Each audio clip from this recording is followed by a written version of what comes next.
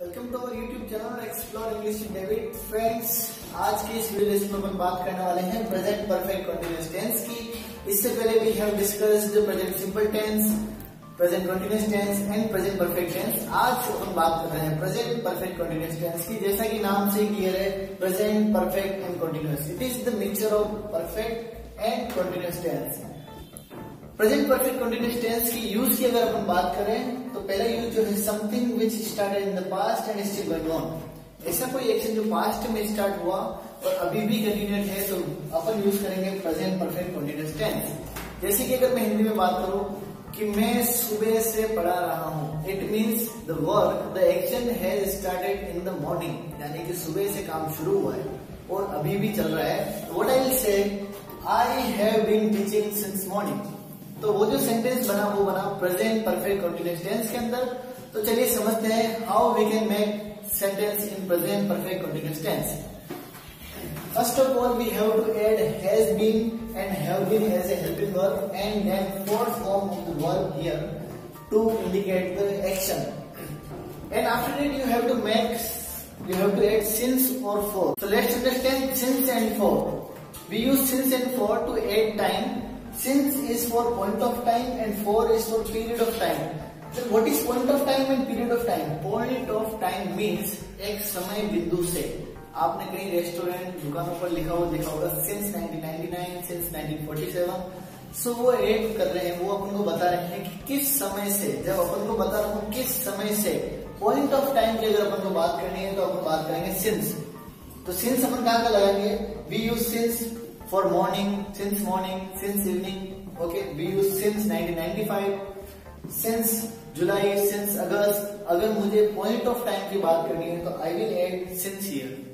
And what is for? For is period of time. अगर मुझे mention करना है समय अवधि के लिए बात है दो घंटे से चार दिन से दो महीने से दो सप्ताह से कई दिनों से तो I will use for here to indicate my time so since and for is clear to you I hope once again since is for point of time समय बिंदु की अगर बात करें तो सिंस का यूज़ करेंगे फॉर अपन लेंथ बताने के लिए ड्यूरेशन बताने के लिए कितना समय है? दो घंटे, तीन घंटे, चार घंटे?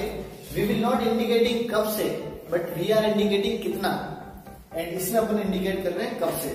So this is since and point we have to add here so let's understand how will make sentence I we use have been here for plural and has been for singular subject. We use first form of the verb. It is nothing. It is the ing form of the verb. I have already described here. So मेरा sentence कैसे बनेगा? I have been dancing since morning.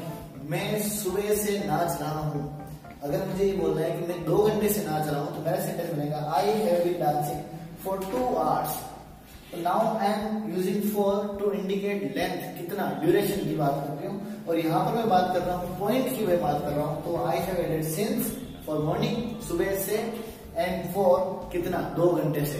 तो that's you since and for here तो अपना sentence बनता है I have been dancing I have been teaching I have been washing I have been enjoying जैसे अगर मुझे बात करनी है कि मैं दो साल से IAS की तैयारी कर रहा हूँ तो मैं बोलूँगा आई हैव बीन यहाँ पर सेंटेंस बन गया I have been preparing preparing for I have been preparing for IAS for two years now I am indicating two years दो साल से I am describing and telling you the duration of the time so इस तरह से अपन present perfect continuous tense की बात करते हैं। जब भी अपन को ऐसा कोई काम बताना हो, जो something is started in past अभी भी कंटिन्यूस चल रहा है।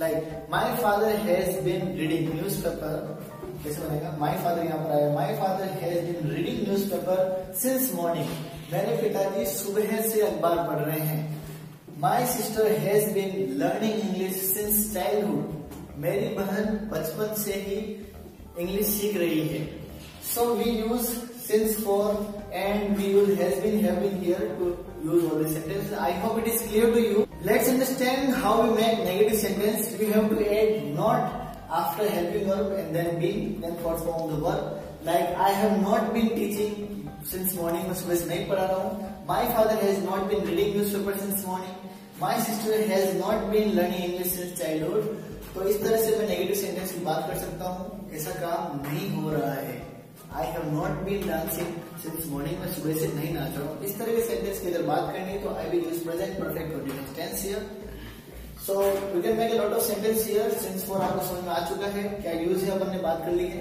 Let's understand how we can make interrogative sentence here interrogative sentence के लिए आपको मैंने पहले बताया कि you just have to remove helping verb from here आपको हेल्पिंग वर्ब यहाँ से हटानी है और इस हेल्पिंग वर्ब को आपको लगानी है सब्जेक्ट के आगे।